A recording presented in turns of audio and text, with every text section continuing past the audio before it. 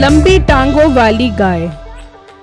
महकपुर नाम के एक गाँव में एक गवाला रहता था, जिसके पास बहुत सारी गाय थी। वो धन, दौलत, पैसे के लिहाज से बहुत अमीर इंसान था। लोग उसके पास दूध खरीदने आया करते थे और अपनी दुकान पर बेचा करते थे। उसके पास अक्सर मुलाजमों की कमी रहती थी। इस वजह से जो भी उसके पास आता, वो उसे काम पर रख लेता था। उसके पास एक बहुत खूबसूरत गाय थी, जिसके नखरे भी बहुत ज़्यादा थे। जो कोई भी उसके पास दूध निकालने आता वो उसे लात मारती थी। वो गवाला इस वजह से बहुत परेशान भी था कि इस गाय का दूध कैसे निकाला जाए। उसी गाँव में बिट्टू नाम का एक लड़का भी था जो उसी गवाले से दूध लिया करता था। बिट्टू बेटा जाकर गवाले से दूध लेकर आ जा। आज दूध की लस्सी बना कर पीते हैं। अबू जान क्या मस्त आइडिया दिया है आपने। दूध से तो मेरे मैदे में ठंड पड़ जाती है और पखाना भी खुल कर आता है बाथरूम में बैठ कर लोटा सामने रखकर। बस शुरू हो गई तेरी पोटी पखाने की बातें। सारी लस्सी से दिल खट्टा कर दिया है मेरा। अबू जान आई रियली जो मेरी वजह से आपका दिल खट्टा हो गया है। बेटा तू अपने बाप की बातों पर तवज्जो ना दिया कर। इसका तो हर बात पर दिल खट्टा हो जाता है। बेगम बस कर दे क्यों आज ही मेरा सारा चट्टा पट्टा खोलेगी। जा बिट्टू तू जाकर बाज़ार से दूध लेकर आ जा। अच्छा अबू जान अभी लेकर आता हूँ दूध। फिर बिट्टू दूध लेने के लिए उस गवाले के पास जाता है। भाई जान एक किलो गाढ़ा गाढ़ा दूध दे दो। अच्छा बिट्टू तुम बैठो। और मुंशी जरा बिट्टू को एक किलो दूध तो निकाल कर दे। भाई साहब क्या आप मुझे रोज कमज़ोर गाय का दूध दे देते हैं? और मुझे इस खूबसूरत गाय का दूध निकाल कर दो। ओ भाई, क्यों हमें बर्बादे के चक्करों में हो? इसके पास जाकर तो दिखाओ, क्यों भाई ये गाय के बड्डे खाती है? बंदे नहीं खाती।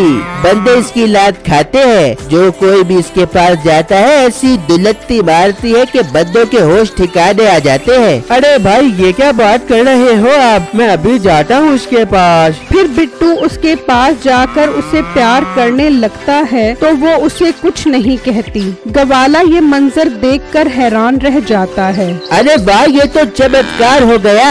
बिट्टू जरा इस गाय का दूध तो निकालो।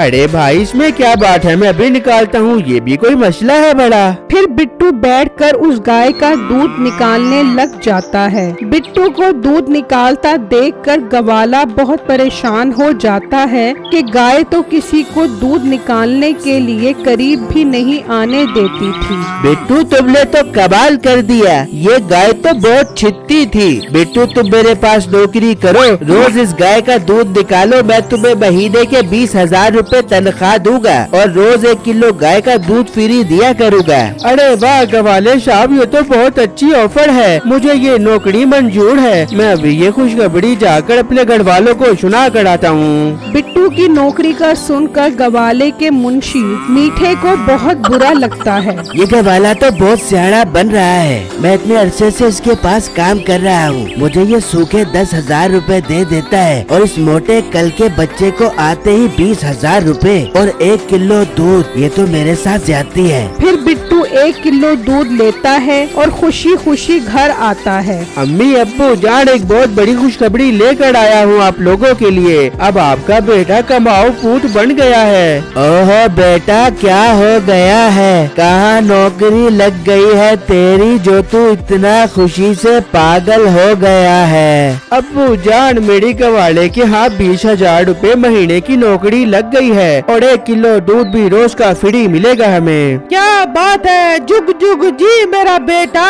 देख लो बड़ा तुम मेरे बेटे को निकम्मा निकम्मा कहते थे। आज बीस हज़ार रूपए की नौकरी लेकर आया है एक किलो दूध के साथ। हाँ बेगम तू ठीक कह रही है। आज तो मेरे बेटे ने मेरा सर फकर से बुलंद कर दिया है। अब तो मैं भी सीना चौड़ा करके लोगों को बताऊँगा कि मेरा बेटा भी गाय के दूध का कारीगर बन गया है। अम्मी अबू जान आज तो खुशी का मौका है। आज हमें सेलिब्रेशन करनी चाहिए। हाँ बेटा बना ले पूरे एक किलो दूध की लस्सी और बाथरूम जाके कर दे सारी लस्सी खट्टी।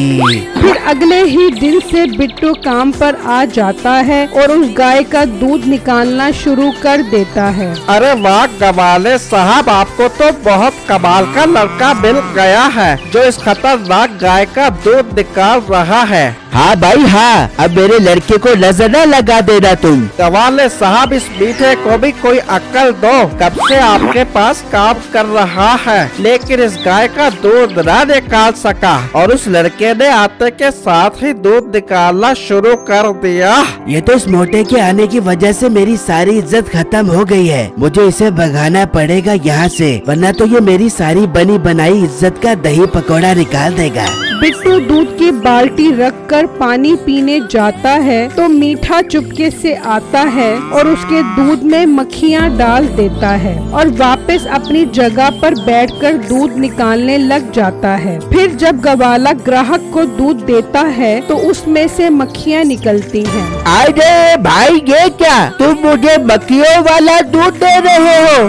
ये दूध में मक्खियाँ कहाँ से आ गई? मीठा ये सुनकर बहुत खुश होता है और गवाले को आकर कहता है गवाले साहब और रखो इस मोटे को। ये तो बहुत गंदा है। दूध निकालने से पहले हाथ भी नहीं धोता। बाथरूम से पोटी करके आता है और फ़ौरन दूध निकालने लग जाता है। तो फिर दूध में से मक्खियाँ न निकले तो सोने की अशरफियाँ निकले। बेटे तुम सही कह रहे हो। बिट्टू यहाँ आओ। फिर जब बिट्टू आता है तो दूध में मक्खियाँ देखकर हैरान रह जाता है। बिट्टू तुम्हारे दूध में ये मक्खियाँ कहाँ से आई? अब तुम्हारे पास आखिरी मौका है। अगर आज के बाद तुमने सफ़ाई का ख्याल न रखा तो तुम मेरी तरफ़ से काम से फारिग हो जाओगे। गवाले साहब मैंने तो गाय के ठन अपना तन मन धन लगा कर धोए थे। इसमें ये मक्खियाँ कहाँ से आ गई मुझे कुछ नहीं पता।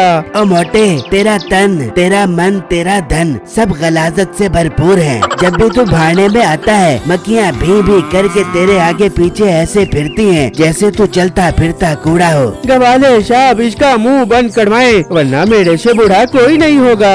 और मेरे वीर और मक्खियों के पीर तेरे से बुरा वैसे भी कोई नहीं है। बिट्टू यहाँ से चले जाओ और आयदा ख्याल रखना।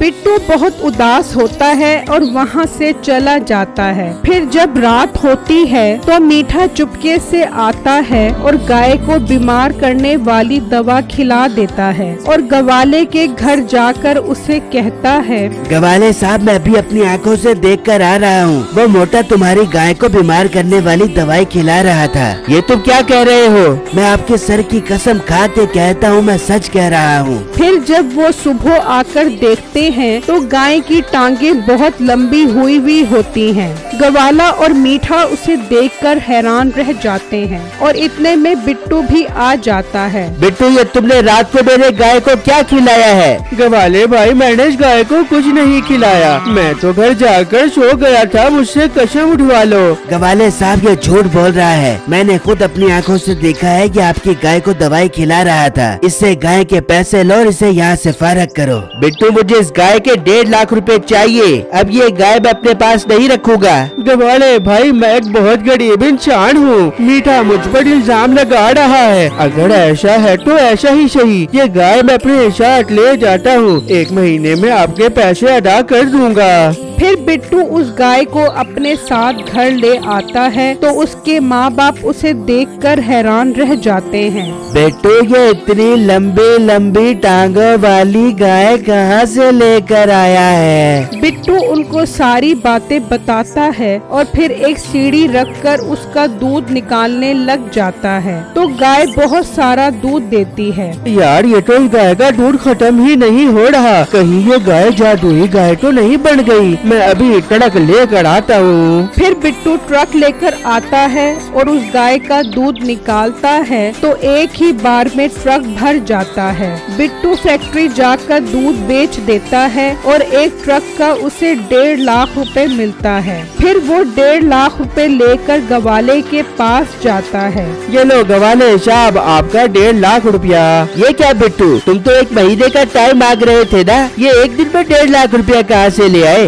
जी हाँ गवाले साहब अब मेरी गाय टड़क बढ़ बढ़ कर दूध दे रही है। मैंने उस रात इस गाय को ऐसी जादुई दवाई खिलाई थी कि इसके ठनों में सारी ज़िंदगी के लिए दूध उतर आया गवाले साहब ये झूठ बोल रहा है। वो दवाई मैंने उस रात उस गाय को खिलाई थी। इससे गाय वापस लो आप। क्या? दवाई तुमने खिलाई थी? हाँ गवाले साहब मैं कसम खा के कहता हूँ दवाई मैंने खिलाई थी। देख लो अब आपको सच लग गया ना। आप तो मुझ पर इल्ज़ाम लगा रहे थे। बिट्टू मुझे माफ़ कर दो मैंने बगैर सबूत के तुम पर इल्ज़ाम लगाया। अब से वो गाय तुम्हारी है। और बेटे तू अभी के अभी यहाँ से अपनी शक्ल गुम कर जा। गवाले साहब मुझे भी आपके पास काम करने का कोई शौक नहीं है। मुझे मेरी तनख्वाह दो मैं यहाँ से जाता हूँ। अच्छा तनख्वाह दूँ। और करबू जरा मेरा डंडा तो लेके आ तेल लगा कर मीठा डंडे का नाम सुनते ही वहाँ से भाग जाता है और बिट्टू को एक खूबसूरत और खालिश दूध देने वाली गाय मिल जाती है। मेरी वीडियो को लाइक और मेरे चैनल को सब्सक्राइब ज़रूर कीजिएगा और मुझे कमेंट बॉक्स में ज़रूर बताइएगा कि आपको मेरी स्टोरी कैसी लगी। शुक्रिया।